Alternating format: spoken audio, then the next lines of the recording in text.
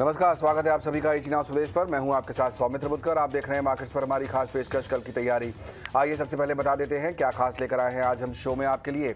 कल निफ्टी की तीन बड़ी कंपनियों के नतीजे आने वाले हैं। हम तीनों का ही आपको प्रीव्यू देंगे, बताएँगे कि किस तरह के नतीजे आ सकते हैं और क्या उम्मीद की जानी चाहिए इस समय मार्केट क्या मान रहा है। साथ ही साथ कर, रिलायंस जियो जो है इस समय ग्राहकों की पसंद बनता जा रहा है। उसके ग्राहकों की संख्या बढ़ती जा रही है। क्या मतलब है इसका शेयर के लिए, ये भी समझेंगे और साथ ही साथ कल के लिए कुछ दमदार ट्रेडिंग आइडियाज़ को भी हम शो में करेंगे शामिल।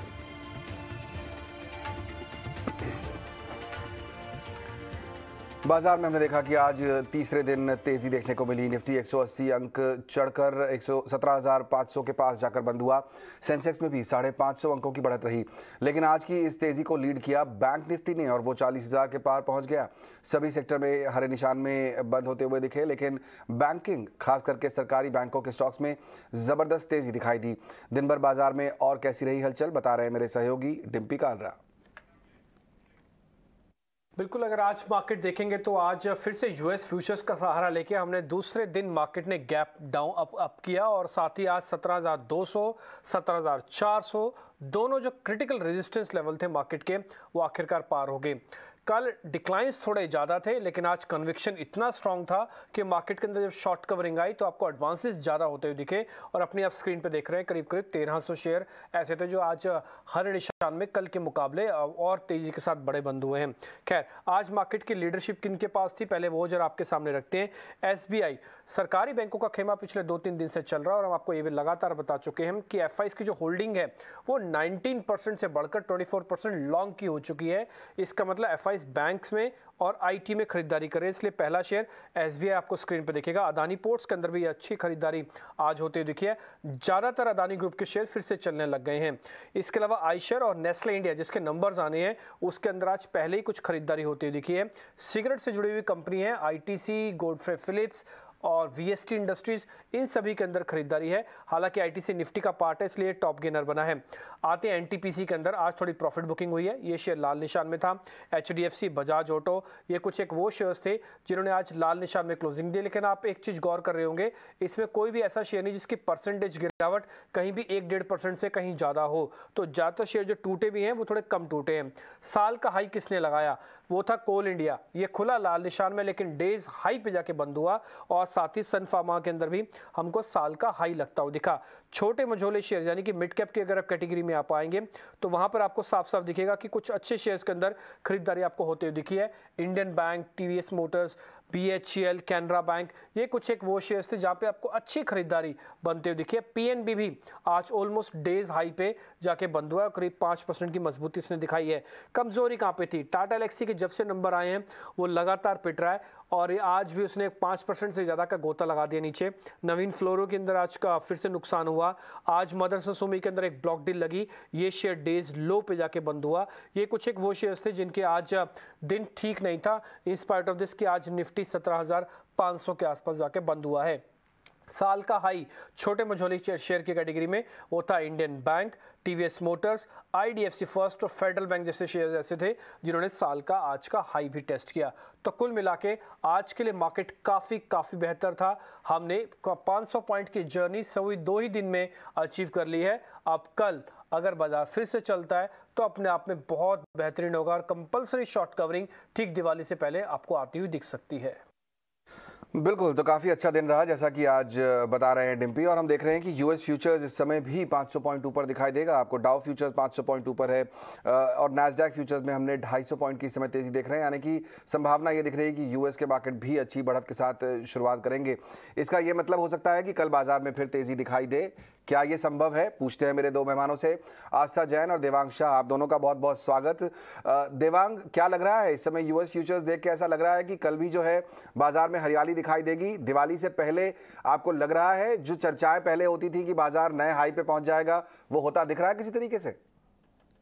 अगर हम निफ्टी की बात करें, काफ़ी अच्छा हमने सपोर्ट हमें वापस एक बाउंस देखने मिला है हमें निफ्टी के अंदर। हमें अभी भी लगता है कि आज जिस तरीके से मार्केट में रैली की और ब्रेकआउट देखने मिला है तो लग रहा है कि अभी भी अपसाइड इंटेक्ट है। सत्रह हज़ार सात सौ पचास तक के लेवल्स देखने मिल सकते हैं निफ्टी में। यहाँ पे सपोर्ट की जहाँ तक बात करें, सत्रह हज़ार तीन सौ का नाउ इमीडिएट सपोर्ट है निफ्टी फ्यूचर के लिए।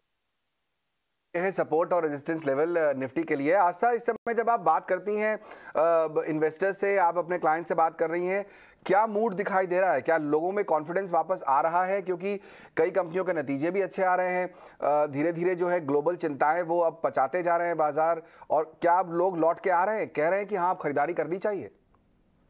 जी, बिल्कुल। गुड इवनिंग देखा जाए तो अभी कॉन्फिडेंस वापस से आ ही रहा है और ये कॉन्फिडेंस का मेजर कारण जो हम आसपास भी देख रहे हैं, बहुत अच्छी बायंसी है।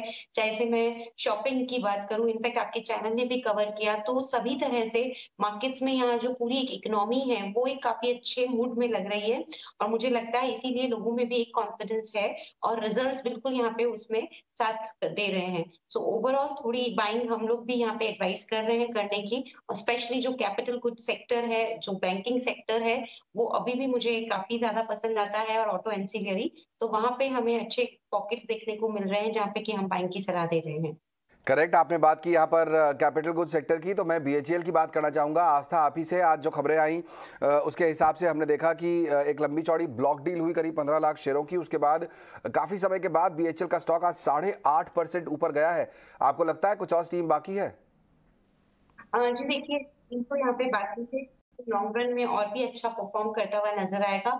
एक्चुअली जिस तरह से कैपिटल गुड सेक्टर पे मैं पूरे तरीके से यहाँ पे बुलिश हो रही हूँ और वो हमें देखने में भी मिल रहा है क्योंकि जिस तरह से यहाँ पे गवर्नमेंट यहाँ पे जो इन्वेस्टमेंट कर रही है ऑर्डर्स काफ़ी अच्छे खासे मिल रहे हैं और सबसे बड़ा ऑर्डर इंफ्रास्ट्रक्चर सेक्टर से आ रहा है कैपिटल गुड कंपनी को। इनफैक्ट डिफेंस के काउंटर पे भी काफ़ी मजबूती हमें देखने को मिल रही है। सो ओवरऑल मुझे लगता है कि ये जो तेज़ी आई है, ये जारी रहेगी और बीएचएल में भी ये तेज़ी जारी रहेगी, लेकिन आज बहुत बड़ी तेज़ी आई है तो थोड़ा सा डिप आता है तो मैं वहाँ पे अभी भी पॉजिटिव बनी हुई और खरीदारी करने की सलाह दूँगी।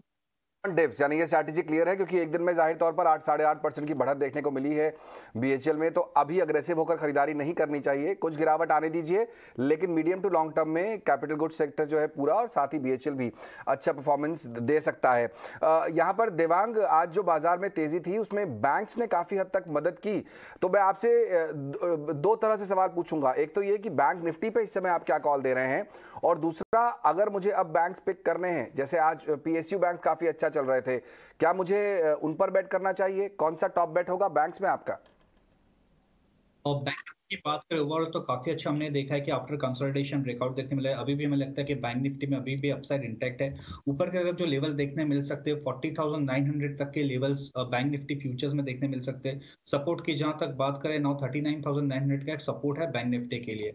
स्टॉक स्टॉक स्पेसिफिक बैंक की बात करें तो हमें यहाँ लगता है कि आईसीआईसीआई बैंक ओवरऑल ट्रेंड की बात करते एक स्ट्रॉन्ग ट्रेंड है पॉजिटिव ट्रेंड है। आज हमने देखा कि का, का, काफ़ी वक्त से कम एक रेंज में चल रहा था उसमें एक रेंज ब्रेकआउट देखने मिला है। तो अभी भी लगता है स्टॉक में अपसाइड इंटैक्ट है 915 920 तक के लेवल्स देखने मिल सकते हैं। यहाँ पे स्टॉप लॉस रखना चाहिए 885 का। 85 का स्टॉप लॉस 915 से 920 तक के लेवल आईसीआईसीआई बैंक में देखने को मिल सकते हैं। ब्रॉडली बैंक ने आज सपोर्ट किया बाज़ार को और आने वाले दिनों में भी बैंक्स में तेज़ी रह सकती है। चलिए फोकस करते हैं उन स्टॉक्स पे जिनके नतीजे कल आने वाले हैं। कल तीन बड़े नतीजे आने वाले हैं निफ्टी के। शुरुआत करेंगे हम नेस्ले के साथ, क्योंकि यहाँ पर वॉल्यूम्स पर फोकस काफ़ी हद तक रहता है मार्जिन पर फोकस रहता है। मेरी सहयोगी विनी मोतीवाला मेरे साथ जुड़ रही है। विनी, बताइए, क्या एक्सपेक्टेशन है इस बार नेस्ले से? तो नेस्ले के ये टाइम जो क्वार्टर थ्री करंट या 22 नंबर्स है, वहाँ पे जो ओवरऑल रेवेन्यू की एक्सपेक्टेशन है, वहाँ डबल डिजिट रेवेन्यू एक्सपेक्टेड है। प्रॉफिट्स की जो मुनाफा की बात करें तो वहाँ पे 5 परसेंट इंक्रीज है ईयर ऑन ईयर बेसिस पे एक्सपेक्ट कर रहे हैं। पर जो ऑपरेटिंग परफॉर्मेंस है, वहाँ पे थोड़ा वीकनेस एक्सपेक्टेड है, थोड़ी वीकनेस एक्सपेक्टेड है। और इबिटा मार्जिन एक्सपेक्टेड है कि फोर बेसिस पॉइंट से डिक्लाइन होगी कॉन्ट्रैक्ट होगी इबिटा मार्जिन और इबिटा मार्जिन एक्सपेक्टेड है ट्वेंटी पे वर्सेज ट्वेंटी तो श्योरली कॉन्ट्रैक्शन एक्सपेक्टेड है इबिटा मार्जिन में। उसके अलावा जो फैक्टर्स मेनली इम्पैक्ट कर रहे हैं रेवेन्यू ग्रोथ को तो वहाँ पे जो ग्रोथ हो रही है प्राइसिंग ड्रिवन ग्रोथ होगी ये टाइम रेवेन्यू में इस बार भी, क्योंकि कंपनी ने ऑलरेडी प्राइस एक्स ले चुके हैं अपने ये क्वार्टर में भी। उसके अलावा मार्जिन की बात करें तो एग्री इन्फ्लेशन हाई है इंक्रीज फोकस आ रहा है लोअर यूनिट प्रोडक्ट्स पे। और उसके अलावा जो पेनिट्रेशन रूरल एरिया में है, वहाँ पे वो ये फैक्टर्स है ग्रॉस मार्जिन को इम्पैक्ट करे और इनफैक्ट ये सब फैक्टर्स उनके मार्जिन प्रेशर बोले तो ये कंटिन्यू हो रहा है इबिटा परफॉर्मेंस इबिटा मार्जिन पे भी। और फ्रेट कॉस्ट भी इंक्रीज हो चुकी है तो ये इबिटा मार्जिन पे भी प्रेशर बढ़ा रही है। ओवरऑल वॉल्यूम ग्रोथ ये टाइम एक्सपेक्टेड है mid single digit volume growth five की अप्रॉक्सीमेटली वॉल्यूम ग्रोथ एक्सपेक्टेड है। और जो इंपॉर्टेंट फैक्टर्स है कॉमेंट्री में क्या वॉच आउट करेंगे कि डिमांड ट्रेंड्स कैसे आ रही है कंपनी की? उसके अलावा जो रूरल ट्रेंड्स है, वो एक इंपॉर्टेंट फैक्टर है क्योंकि कोई एफ़ कंपनी ने कई कई एफ़ कंपनी ने हाईलाइट की थी कि रूरल एरिया में थोड़ी प्रॉब्लम हो रही है। तो क्या नेस्ले भी ये फैक्टर हाईलाइट कर रहा है? क्या है ये ट्रेंड ये इंपॉर्टेंट फैक्टर है। क्या वो फिर से और प्राइस हाइक्स लेंगे? उस पर कुछ कॉमेंट्री और न्यू प्रोडक्ट पाइपलाइन क्या है कंपनी के लिए? ये इंपॉर्टेंट फैक्टर्स है वॉच आउट करने के लिए। बिल्कुल तो यहाँ पर रूरल सेक्टर में किस तरह परफॉर्मेंस कंपनी कर रही है, उस पर फोकस रहेगा और मार्जिन कुछ कम रहने की उम्मीद है। आस्था, आपकी क्या उम्मीद है? क्या कॉल रखना चाहिए इस समय नेस्ले पर?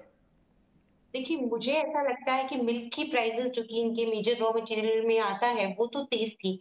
लेकिन जो हमने एक फॉल देखा है अदर प्राइसेस में, जहाँ पे कि एडिबल ऑयल की अगर हम बात करें मोटा मोटी जो कमोडिटी प्राइसेस का फॉल आया है, मुझे लगता है कि वो एक पॉजिटिव हो सकता है। लेकिन मार्जिन जो कॉन्ट्रेक्शन है, वो हमें भी लग रहा है, पर ये जो मार्जिन कॉन्ट्रेक्शन है, ये सिर्फ़ इसी क्वार्टर की कहानी रहनी चाहिए। मुझे ऐसा लगता है Q three F Y twenty three onwards हमें मार्जिन में भी एक एक्सपेंशन देखने को मिलेगा। तो नेस्ले में जो हम मान के चल रहे हैं वो सात प्रतिशत का revenue growth year on year पे आ, मैं मान के चल रही हूँ। लेकिन अगर मैनेजमेंट ने कुछ भी इसमें ऊपर या नीचे दिया तो स्टॉक अकॉर्डिंगली बिहेव करता हुआ नज़र आएगा। बट स्टिल मैं पॉजिटिव हूँ इस काउंटर पे। एक बार रिज़ल्ट को मैं रिव्यू करना चाहूँगी।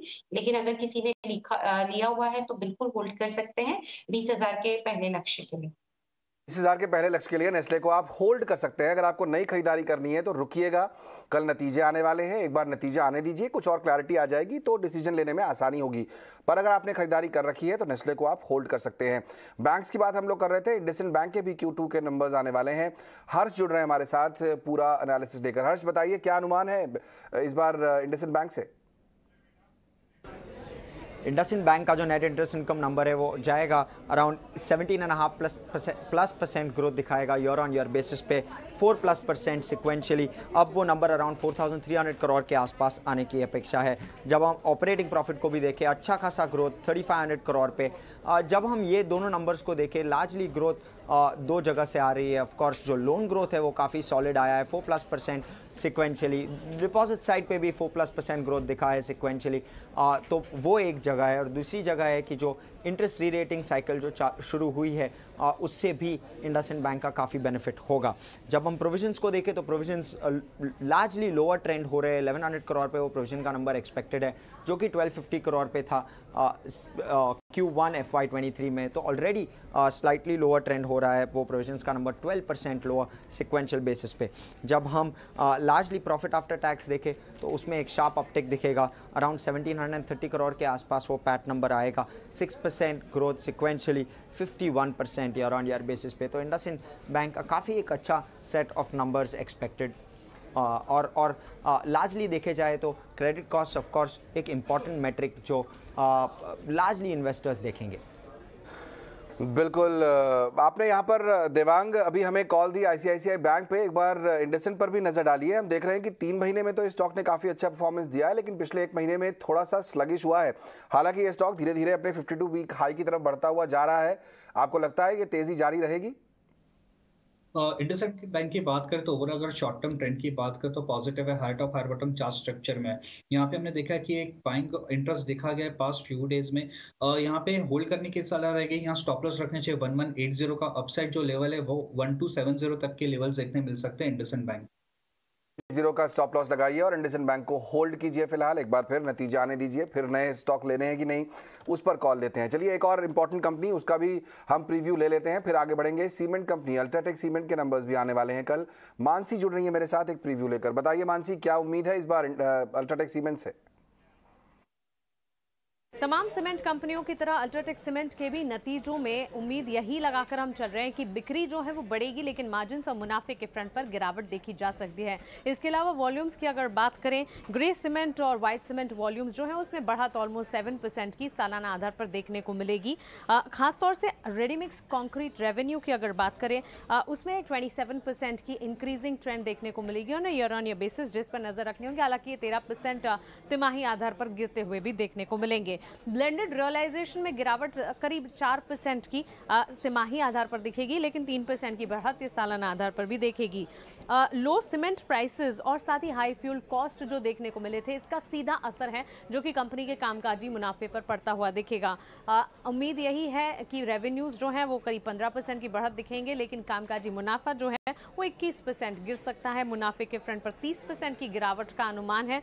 वहीं मार्जिन जो है ट्वेंटी थ्री परसेंट से फिफ्टीन परसेंट पर जाते हुए दिखेंगे।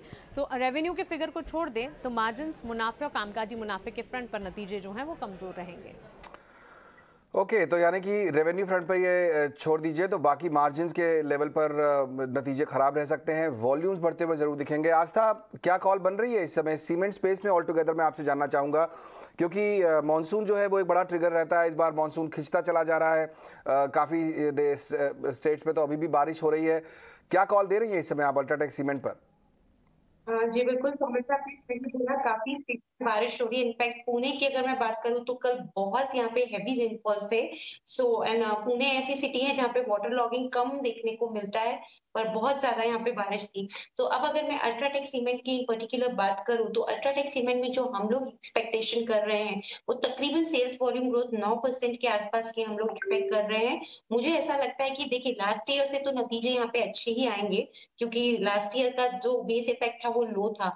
लेकिन क्वार्टर ऑन क्वार्टर की बात करें तो मुझे लगता है कि थोड़ा सा मॉडरेशन हमें देखने को मिल सकता है, क्योंकि देखा जाए तो मानसून की वजह से भी थोड़ा सा यहाँ पे मॉडरेशन आ सकता है और थोड़े इन्फ्लेशनरी प्रेशर्स की वजह से भी कॉस्ट ऑफ़ प्रोडक्शन यहाँ पे बढ़ती भी नज़र आएगी।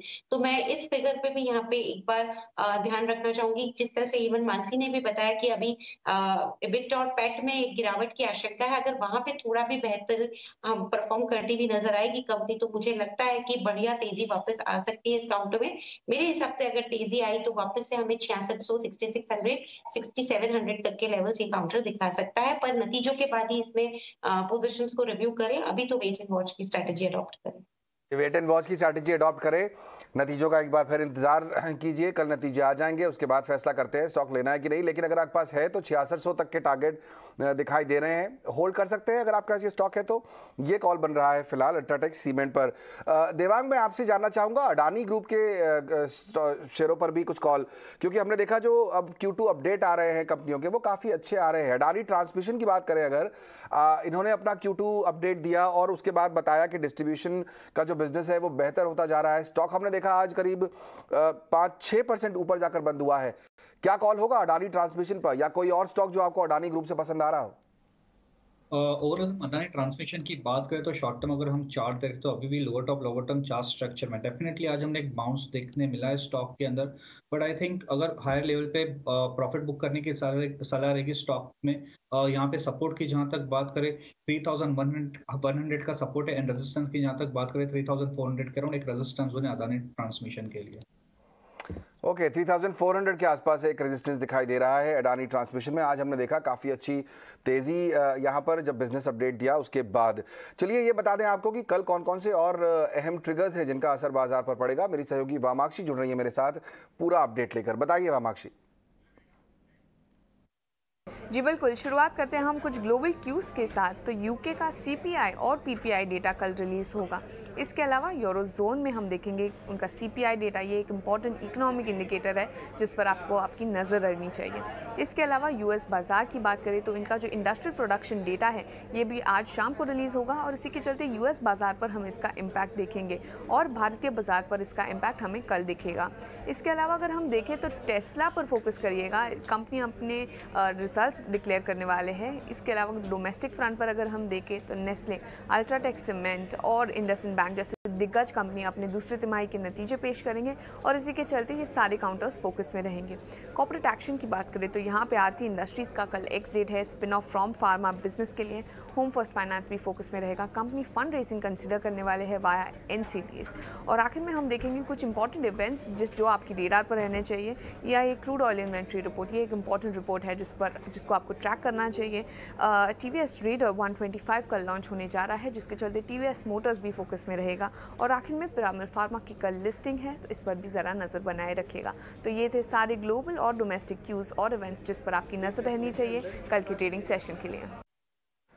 शुक्रिया वामाक्षी तो वो सारे ट्रिगर्स जिन पर नज़र आपको रखनी चाहिए कल के ट्रेडिंग सेशन के लिए। चलिए, वक्त हो गया, अब ये जानने का कि कौन से स्टॉक्स पर मेरे मेहमानों की कल नज़र रहेगी।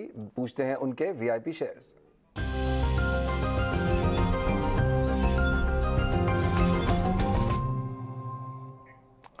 देवांग, आपसे करते हैं शुरुआत। बताइए, कल के ट्रेडिंग सेशन में कौन से शेयरों पर नज़र रहेगी आपकी?